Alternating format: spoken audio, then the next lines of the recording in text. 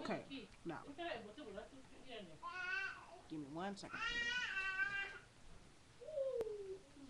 I don't see it here. It's not okay.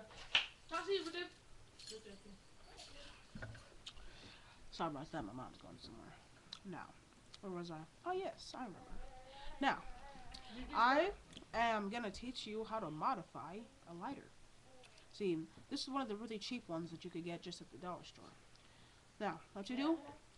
Take off, take off this plastic aluminum casing. Take it off like so. Now all that's left is this. You, you see, see that switch? You need that right there. Make sure that um, make sure it's all the way to the right. Now what you do? I'm not sure if you can see the cog, but you go ahead and you lift it up.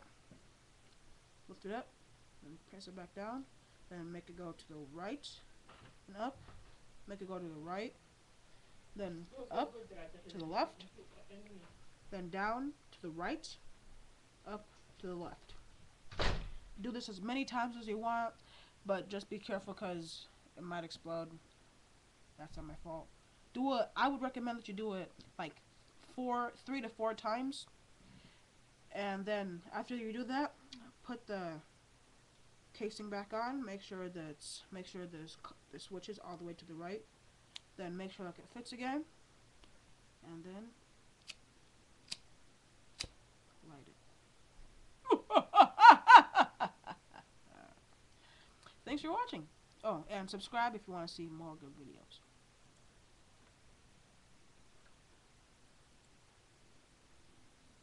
One more time, just for the fans. So Um, this this is my first one I've modified many. Watch. Okay.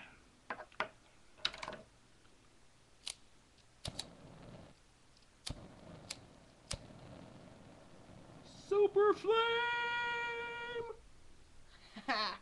Thanks.